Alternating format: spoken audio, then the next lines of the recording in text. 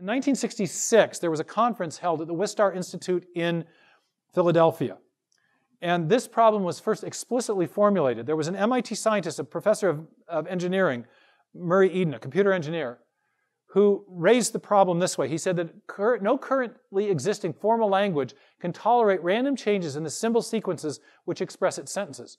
Meaning is almost invariably destroyed.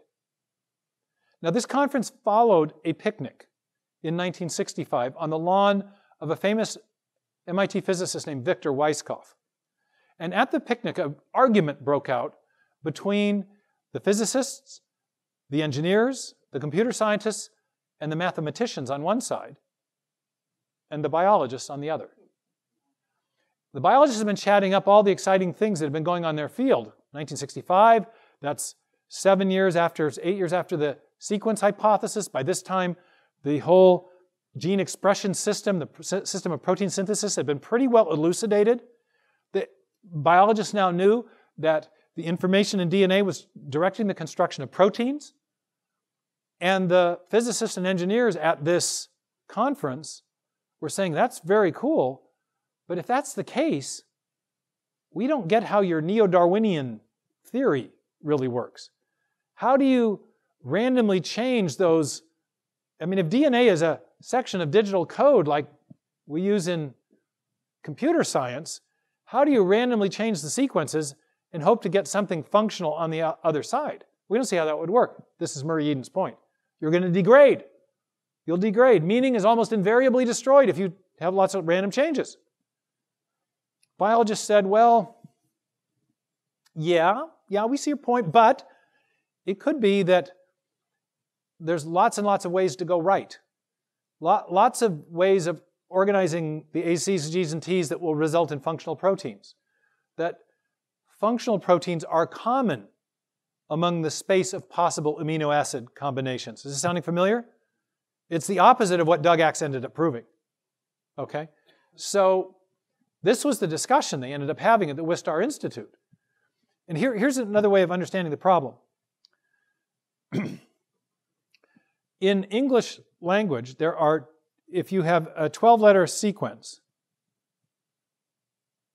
for every one word that's meaningful, or sequence of letters that's meaningful, there are 100 trillion possible ways of arranging the 26 letters of the English alphabet that will not be, be meaningful, that will be gibberish. The ratio of meaning to gibberish is low, extremely low. And what the biologists were hoping for was that in the biological case, the ratio of function to gibberish would be high. So that if you had random changes, you would almost inevitably stumble onto some new thing that was also functional. You skip from one island of function to another fairly easily, okay? And in 1966, they had this debate. And it all came down to the question of rarity of genes and proteins in sequence space. The computer scientists and the mathematicians said, we're pretty skeptical. If it's a true linguistic system, if it's, it's an information carrying molecule, probably meaning's going to be rare. Function's going to be rare. But the biologist said, well, we don't know that. It could be, it could be common. And nobody knew. And that's where Doug entered this fray about 20, 22 through 23 years later. There were more indications of rarity, but nobody had definitively pinned it down. There was a, he mentioned a, a lab in at MIT, Robert Sauer, who first started to do these site-directed mutagenesis experiments that Doug later did and perfected. And he was getting very, uh, he, was, he was getting measures of extreme rarity, but not even as much as what Doug later, later determined. So I'd like to illustrate the problem this way. It's called the problem of combinatorials. If you got four dials and 10 digits on each, you get 10,000 possibilities. Only one combination. If you're a, if you're a thief out there trying to crack this lock, maybe it's on a bike outside of Moat Hall, um, is it more likely that you'll, that you'll oh, crack the lock by chance or, or fail? Uh, it's a trick question, though, isn't it? What else do you have to know? You have to know how much time, how many opportunities. If you have enough opportunities to do uh, 5,001 possible combinations, it becomes more likely that you'll succeed than fail. in which case the chance hypothesis becomes more likely to be true than false. Reminding how I was reasoning in the last hour? Okay, similar. But what if the thief encounters not a lock like this? There he is spinning four dials, da da da da da. But what if he encounters this lock? Now it gets a lot harder, doesn't it? I did some math on this and found that if the thief lived for 100 years, changed one dial every 10 seconds, took no potty breaks, had no dates, never ate dinner, or anything else, he could sample about 3% of the total 10 billion possible combinations in 100 years. In that case, it's much more likely that the thief will fail than succeed in randomly searching for the combination, in which case the chance hypothesis is more likely to be false than true. What Doug found was in the living system, okay, there's our thief going at it. We animated that. Now there's the nicer picture of Doug. Doesn't he look great there? That's your Biola chair of molecular biology. I think that's outstanding. Um, so Doug posed this question How common or rare are the functional sequences of proteins among all the possible combinations? Remember the diagram from, the, from our discussion with him? 1 in 10 to the 77. That's like a lock with 10 digits on each dial and 77 dials, and you're looking for one possible combination. But in the biological context, what do you have to know? It could be that you have lots of opportunities to find that functional protein or a functional fold. And so, Doug, uh, we're back to the old picture. He had to ask, there was another question that had to be asked. It's effectively the, the, the question how much time or how many opportunities?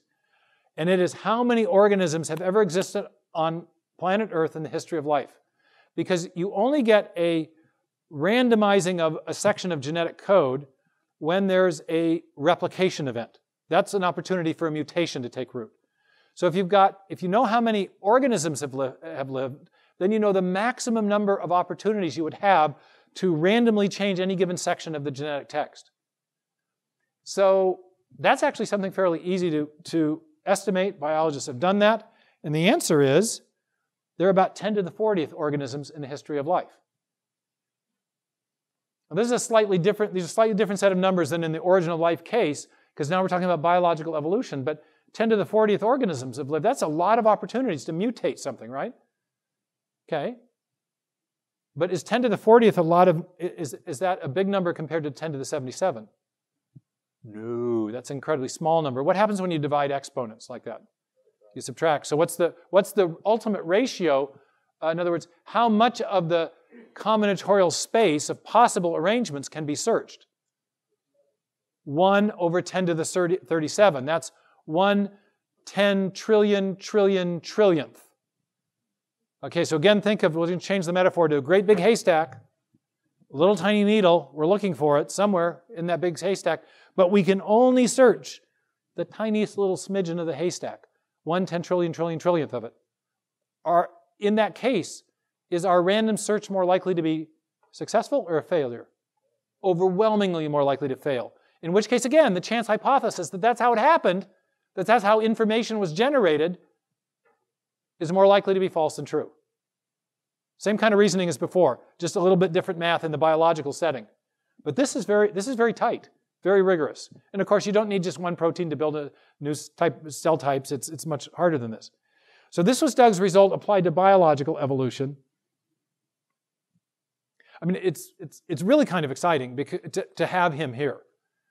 This, this is one of those, I, I have the same kind of esteem I have for Doug as I do for my colleague Dembski. Dembski developed that d- design detection methodology, published it in a book with Cambridge University Press, 1998. Back to the ancient Greeks, to Cicero in the Roman, Roman philosopher, the medieval philosophers, Aquinas and others, Newton, all through the history of Western thought, scientists and philosophers have tried to crack this problem. How can we tell when something is the product of an intelligence as opposed to undirected natural processes? Dembski formalized a method that allowed us to distinguish between the two. I think it's a huge intellectual achievement for which he has received only brickbats and opprobrium and condemnation and ad hominem abuse. But someday, Bill Dembski will get his due. It's an incredible discovery, an incredible innovation in mathematical reasoning. What Doug has done is something of equal magnitude because this is the key question. The plausibility of the Darwinian mechanism because it relies on a random search method before natural selection can kick in. Remember, natural selection can only select what random variations or mutations have first produced.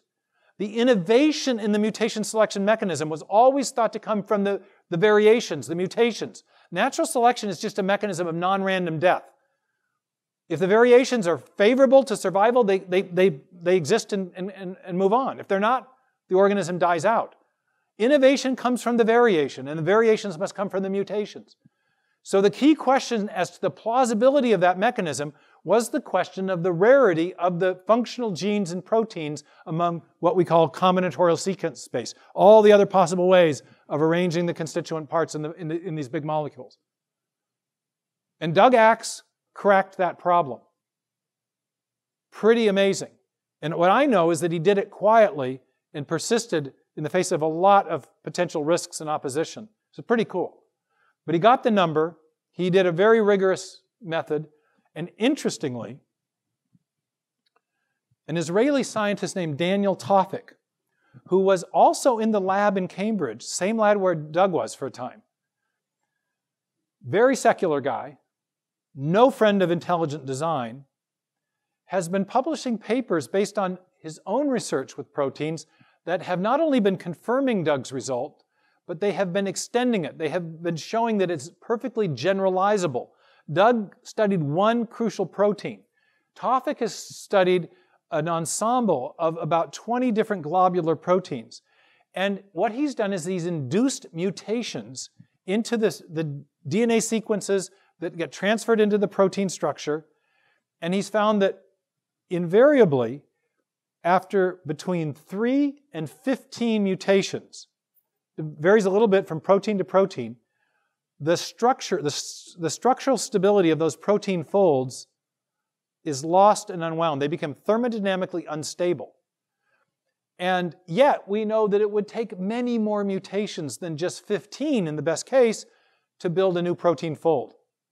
So Doug's conclusion that, you, that the protein folds are too rare and too isolated in combinatorial sequence space to be reached by random mutation has been confirmed by another scientist taking a slightly different approach. And Tawfik's work shows that, um, that Doug's results can be generalized not just for one protein, but for whole classes of proteins. So that's a pretty exciting development.